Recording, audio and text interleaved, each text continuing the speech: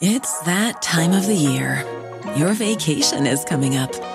You can already hear the beach waves, feel the warm breeze, relax, and think about work. You really, really want it all to work out while you're away. Monday.com gives you and the team that peace of mind. When all work is on one platform and everyone's in sync, things just flow wherever you are. Tap the banner to go to Monday.com. Ah, yes, the magnificent Trolli Sourbright Crawler, also known as Trollicus brightolus. The worm's captivating neon colour makes it an easy, gummy prey. Trolli! It's a surprisingly sour, invitingly chewy, staggeringly snackable species unlike anything else found on this planet. Eat me! Delicious. Visit Trolli.com to shop now. Trolli, eat me! Hiding a secret, he skulks through the swamps, hungry and confused.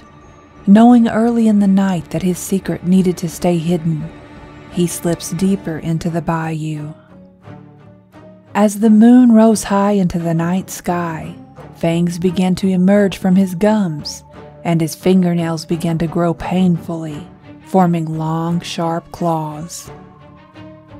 The hunger in his belly began to grow too also painful, gnawing at his insides, begging to be fed.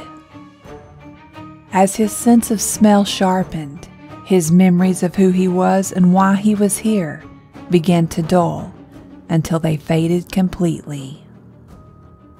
The moon was full and at its peak when he was drawn by the sounds, the smells, and the hunger to a place that was familiar to a place that he, for the moment, had forgotten was his home.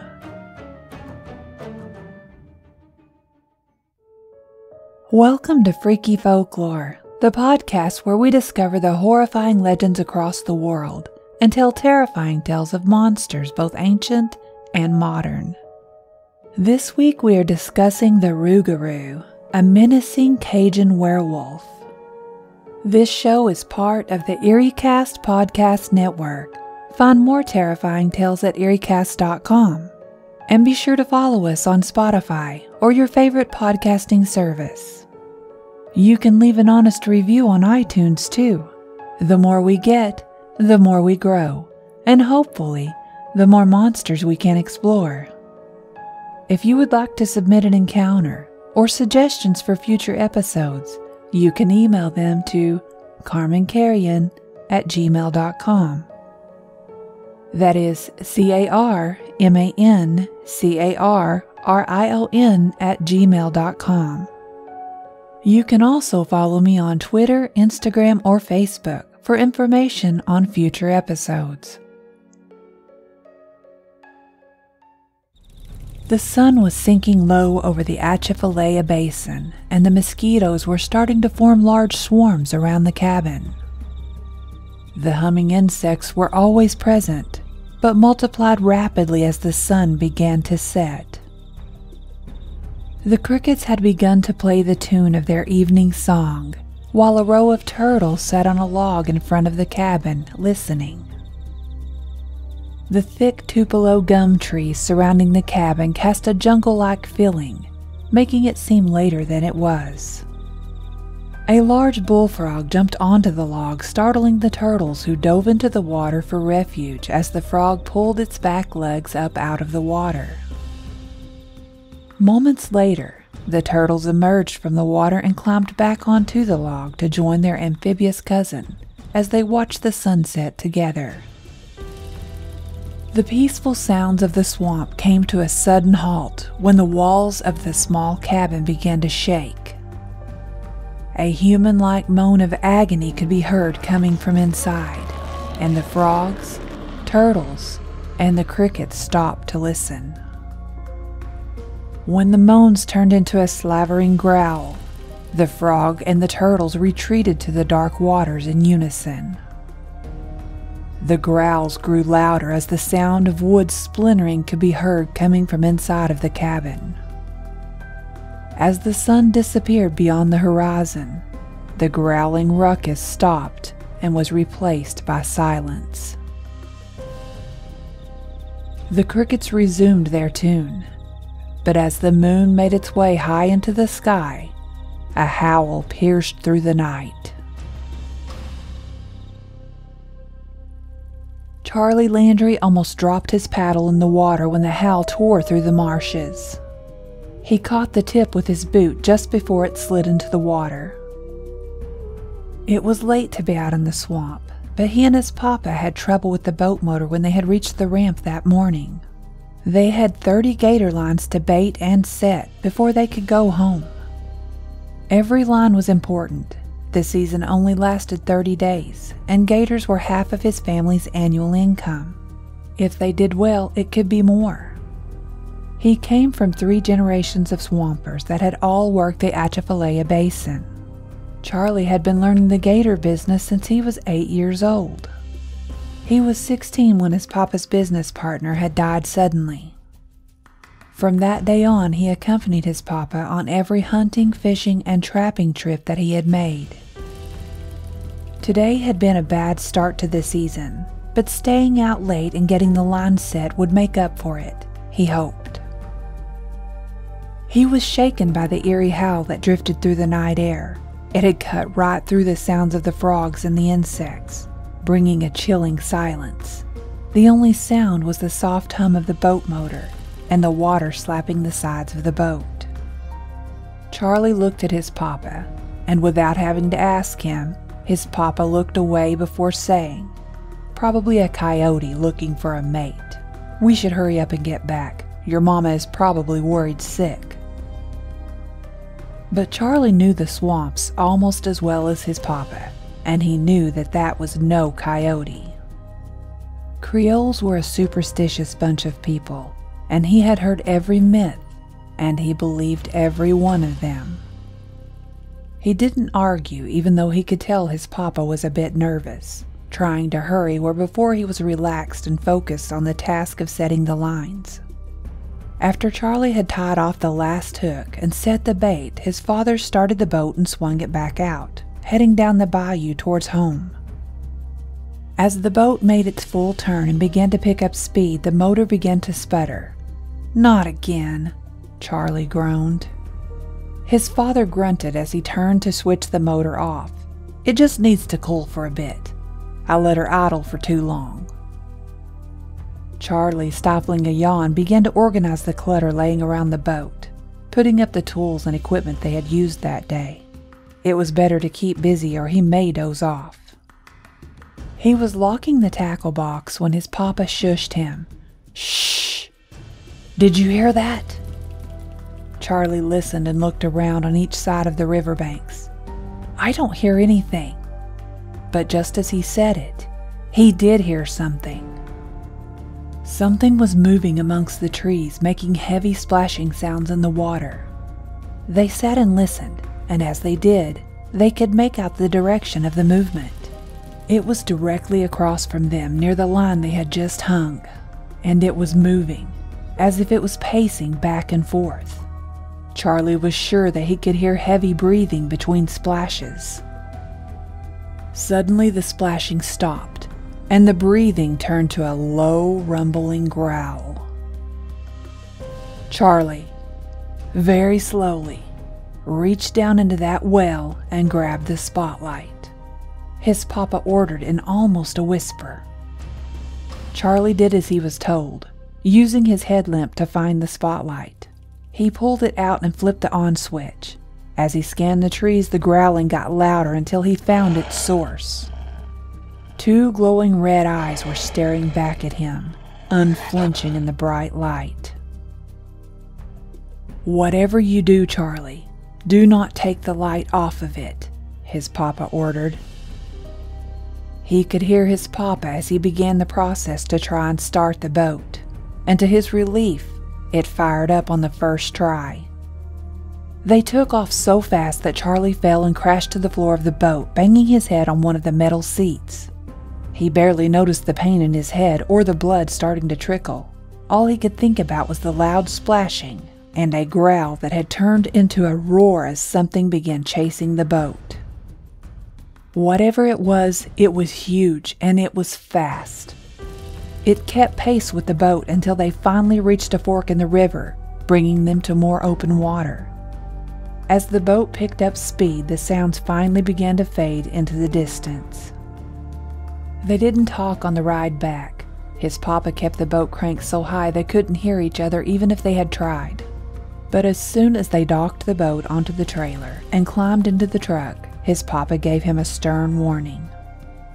Charlie, tell no one what we saw tonight. Charlie looked at him puzzled.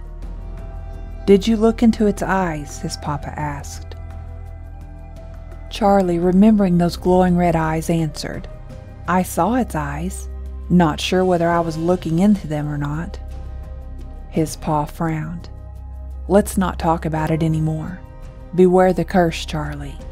Beware the curse.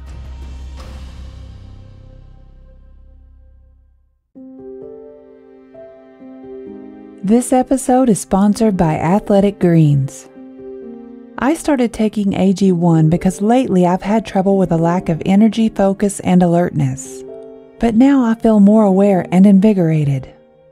AG1 is a drink mix with 75 high quality vitamins, minerals, whole food source superfoods, probiotics, and adaptogens which support gut health, your nervous system, immune system, energy, and more. I drink AG1 every morning for breakfast. It helps me stay focused on work throughout the day. Plus, it has a delicious, mild tropical taste, making it easy to drink. I even look forward to it, and so does my husband. For less than $3 a day, you're investing in your health with a lifestyle friendly mix, whether you're keto, paleo, vegan, dairy free, or gluten free. Plus, your subscription comes with a year's supply of vitamin D, which is very important for the lack of sunlight in winter months.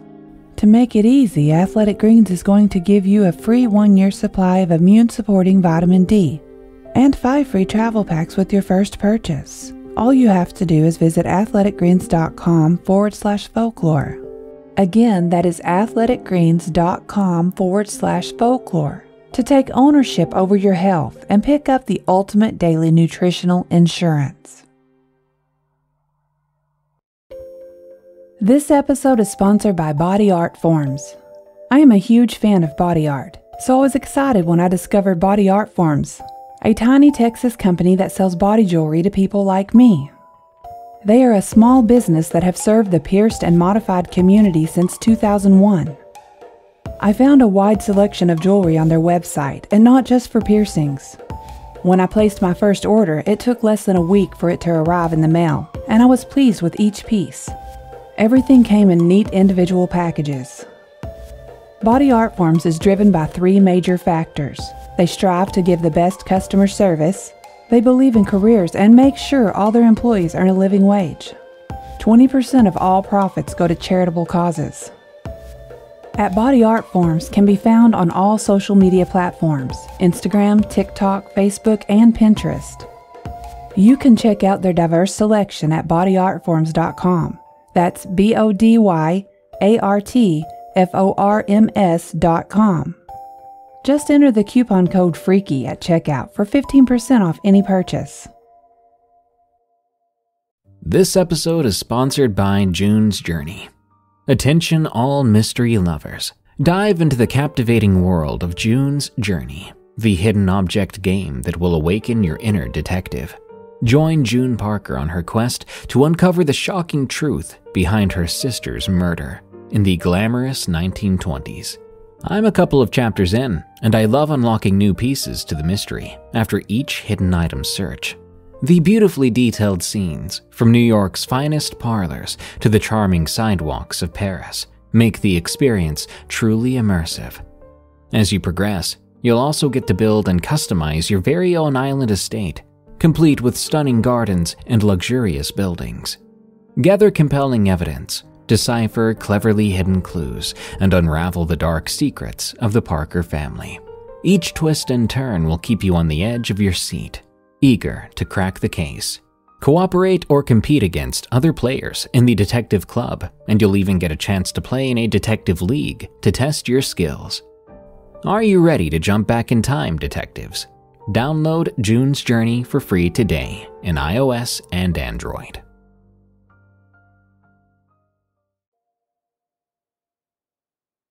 The Rougarou appears in medieval French folklore. The 16th century monster was used as a scapegoat for crimes and misdeeds of others. It was easier to blame vanished children, stolen property, or mysterious happenings on a monster than going through the more complicated criminal investigations. If a villager was displaying strange behavior, it often caused them to be condemned as one of these beasts.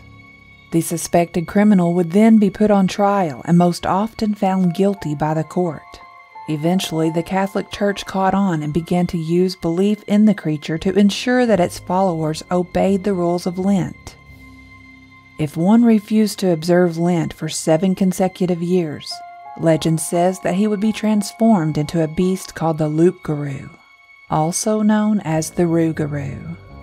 The legend of the Rougarou seems to have traveled from France to anywhere in the world that French people settled. Loup is French for wolf, and garou comes from the Frankish word garulf, which also means wolf. As the Loup-garou traveled to southern Louisiana with the Acadian people, who were exiled from French Canada, its name evolved to Rougarou. But even today, you may hear it called both, as they are used interchangeably. Since the migration of the French, the stories began to change to match the times and the dialect. Since the Cajun dialect is a mixture of French and English words, the word changed over time. Rougarou rolls easier off the tongue than Loup-garou. The legends differ from place to place. Some believe that the beast hunts down Catholics who do not follow the rules of Lent, just like in the olden days. Others believe that the Rougarou is under a 101 day curse, and on the last day, the curse will be transferred to the first victim the beast drew blood from. On the sunset of that day, the victim will turn into a Rougarou, and the original Rougarou will return permanently to his human form. There is a story about a woman who walked into the woods and came face to face with a Rougarou. When she locked eyes with the creature, its curse was lifted, and it returned to its human form. Knowing how the curse was supposed to work, the woman returned home to her husband, but kept it secret until the 101 days was up. There are varying theories on how one may become a Rougarou besides this. First, if you kill one of these beasts and are exposed to its blood, you may become infected and become a Rougarou. Next, if you witness the death of one of these creatures, you must keep it a secret for an entire year. If you tell anyone before the year is up, the curse will fall upon you. It is also believed by some that if you have the misfortune to be cursed by a witch, you may become a Rougarou as well. The Rougarou looks similar in most descriptions. It has a human body and stands 7 to 8 feet tall. Even though the beast has a human body, it has the head of a wolf, with razor sharp teeth and claws. Some believe you may never look into its eyes, or you may become one yourself. If you have the misfortune to become a Rougarou, you may be able to keep your secret, but only for a short while. You will retain your human form during the day, but appear sickly and weak. But beware, when the sun sets, you will turn into a bloodthirsty monster, prowling around the swamps and bayous of Louisiana, and sometimes within the city of New Orleans. You will have an insatiable appetite for human flesh, and sadly, you may prefer the flesh of those you know. There are ways to defend yourself against the Rougarou if you do not become one. Like the English werewolf, silver is the beast's weakness. A silver bullet or a silver stake through the heart should do the trick.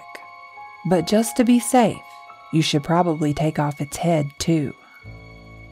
It is also believed that if you shoot, stab, or injure a Rougarou, it will return to its human form as soon as the first drop of blood is spilled.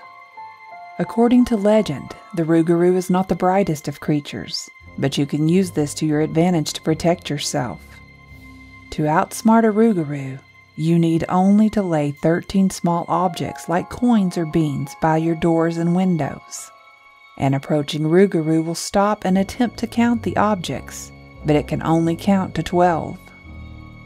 The Rougarou will become perplexed by the number of coins, but will continue repeatedly to attempt to count the coins. He will not stop trying until the sun rises when he will leave and become human again.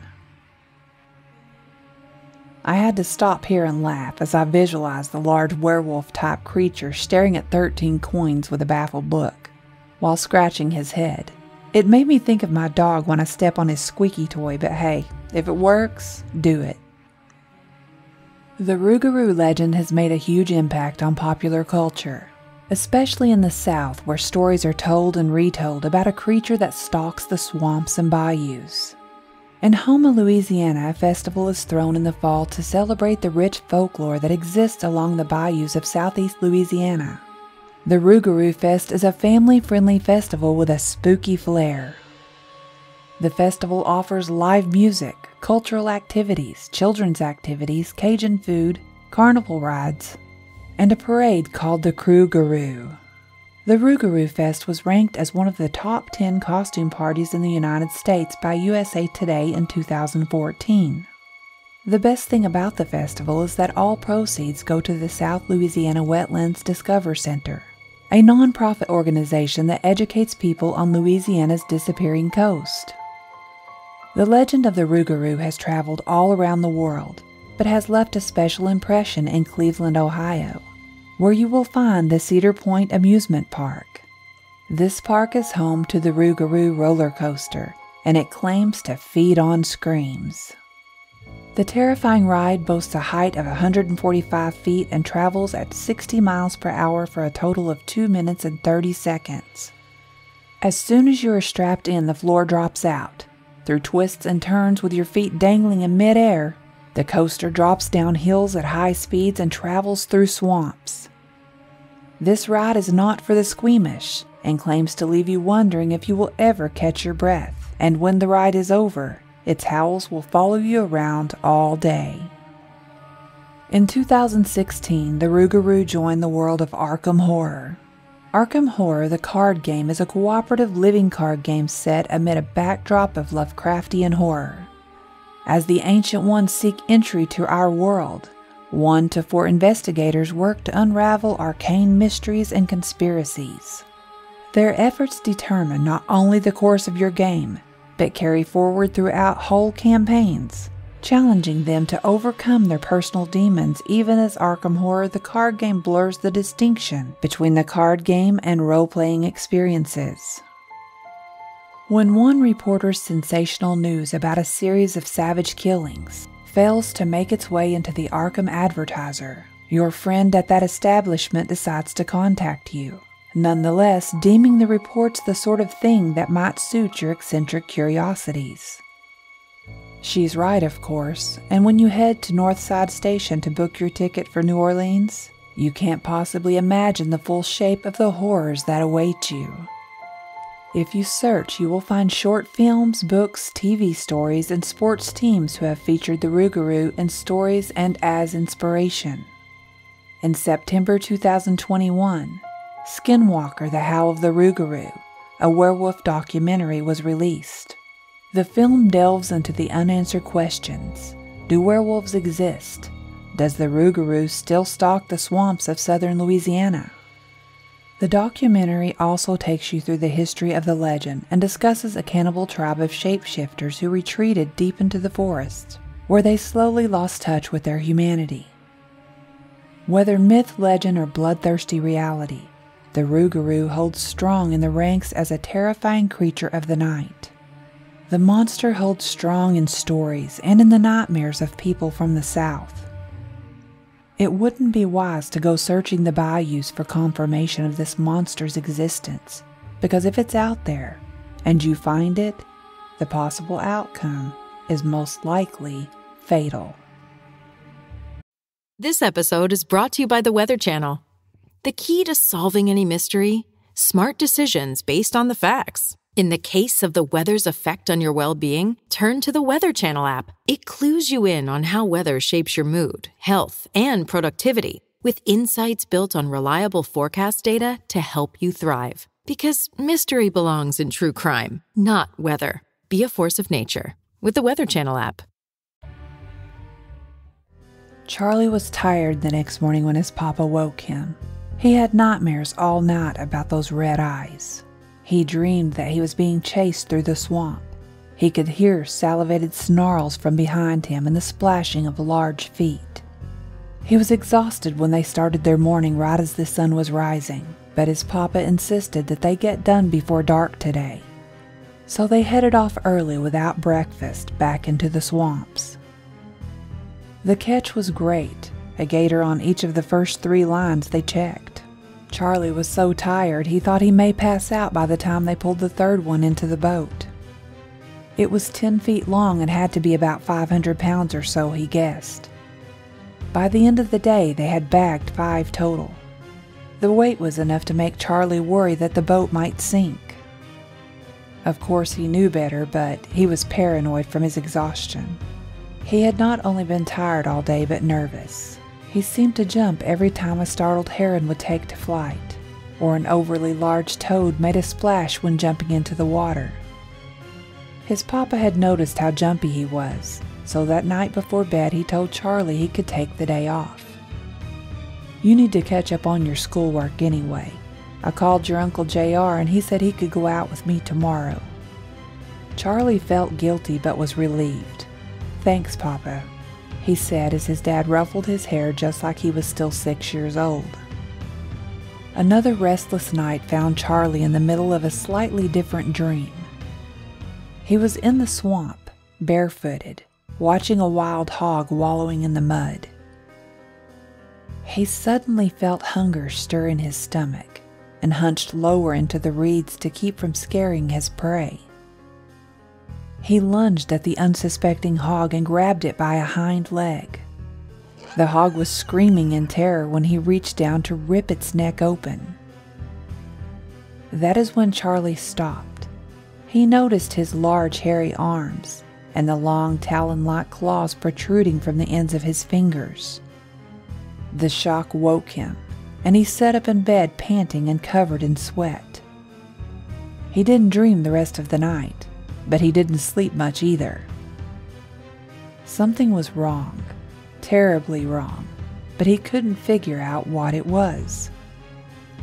The next morning after breakfast, Charlie hit the books. He loved schoolwork, especially science and math, but during gator season he sometimes got behind. He was disappointed when his work was done and bored. He laid down on the couch to watch TV and fell asleep.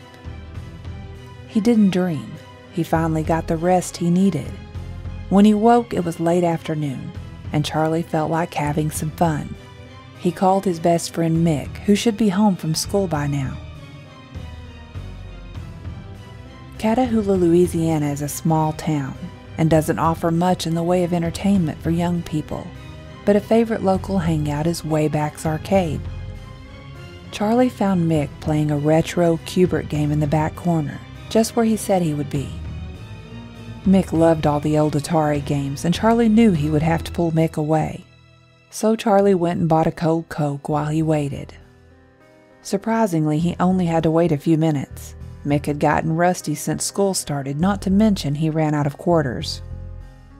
The two boys had some catching up to do, so they walked down behind the businesses towards Little River, where they could skip rocks across the water. Mick was full of news about school. He was especially interested in a new girl that had moved there from Houston the week before. Charlie listened but drifted off a few times as Mick rambled on. Hey, what's itching you? Mitch asked him. You were awful distracted. Do you have your eye on someone? No, I have better things to do than chase girls. I was just thinking about something crazy that happened the other night when I was out with my papa, Charlie explained. Well, I don't know what could be crazier than girls, but I'm all ears, Mick laughed. My papa told me not to tell anyone about it, but if you can keep a secret.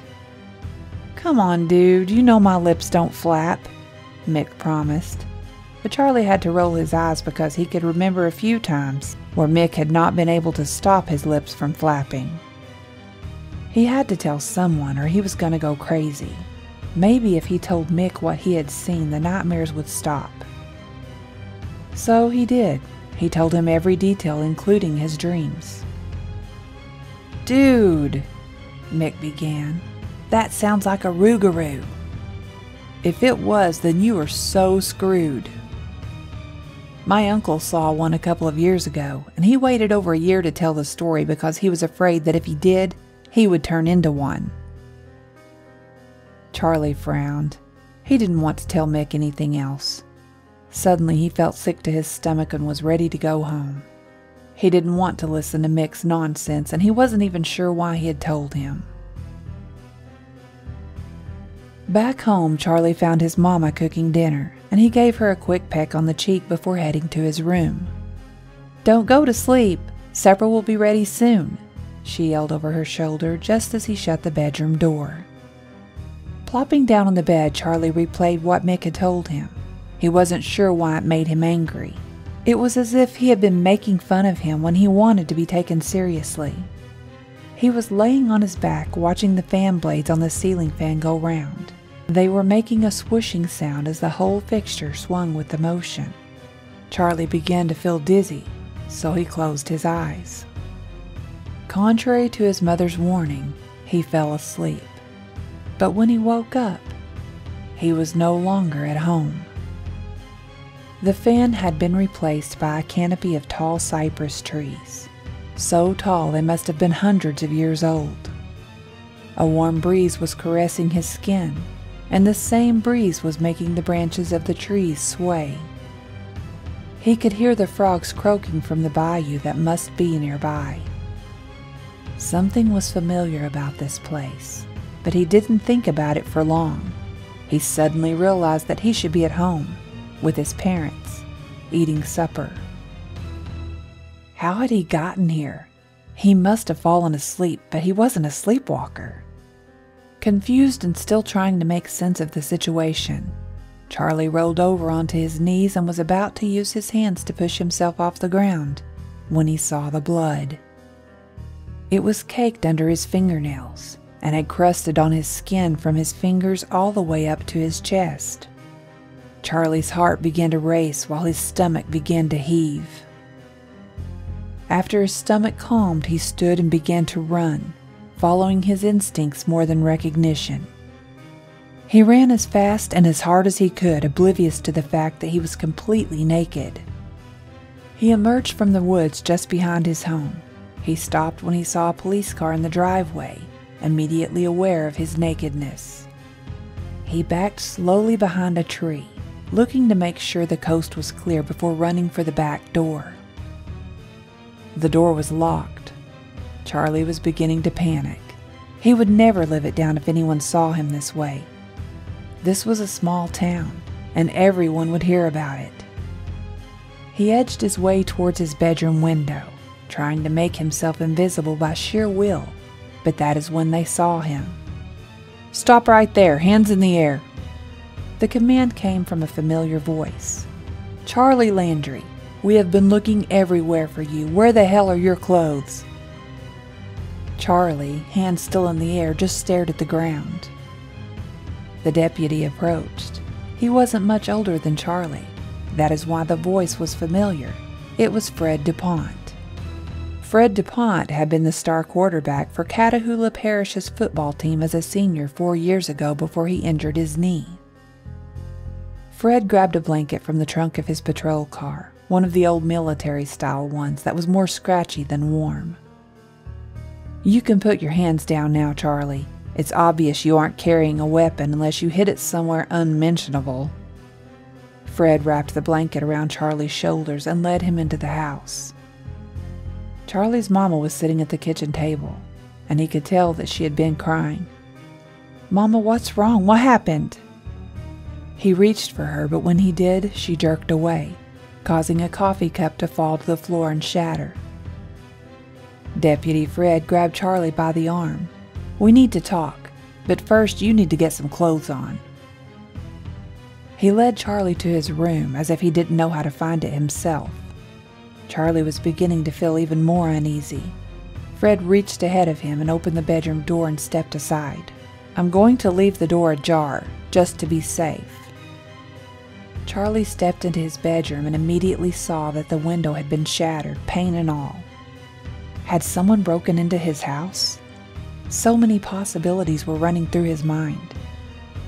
He walked towards the window and noticed that the debris of broken glass and wood was laying outside on the ground.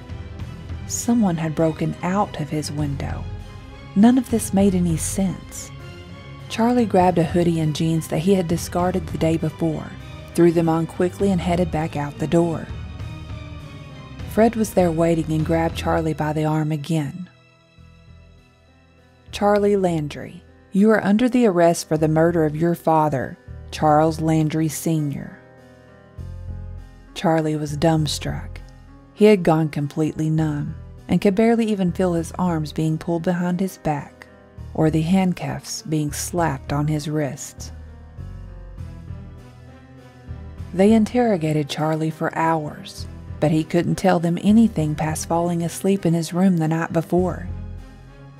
They took his picture, fingerprinted him, and then locked him in a jail cell with a guy who was clearly drunk.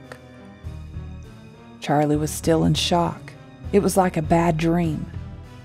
How did he go from a regular kid to his papa's accused murderer in less than a day? He loved his papa. He would never hurt him. Just then, the impact of what all had taken place hit him like a ton of bricks. They said his papa's body had been found behind the house in the woods the same woods he had woke up in. His body had been torn to shreds. Charlie could feel the sun begin to set, even with the absence of a window in the small cell. It was as if something was tugging at his soul. When the moon began to creep higher into the night sky, he felt sharp pain in his fingertips and watched in awe as sharp gray claws dug their way out of his skin. He watched as hundreds of coarse brown and silver hairs began to sprout across his arms.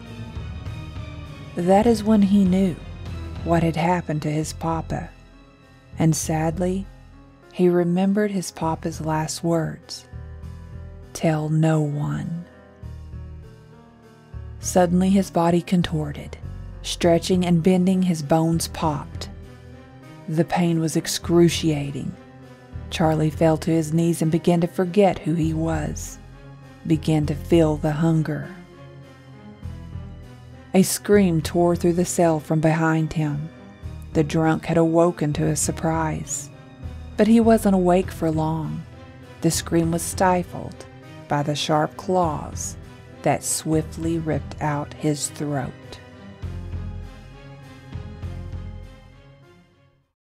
Thank you for listening to Freaky Folklore, the podcast about mankind's horrifying legends and myths. Don't forget to follow Freaky Folklore on Spotify and iTunes. If you can, leave the show an honest review on iTunes to help us grow. Freaky Folklore is part of the EerieCast Podcast Network, the home for listeners who love to feel scared. Go to EerieCast.com to find other terrifying podcasts such as Tales from the Break Room and Redwood Bureau. Tune in next week as we talk about the backrooms, a space that exists outside of reality. Until next time, stay safe out there because this world is a strange one.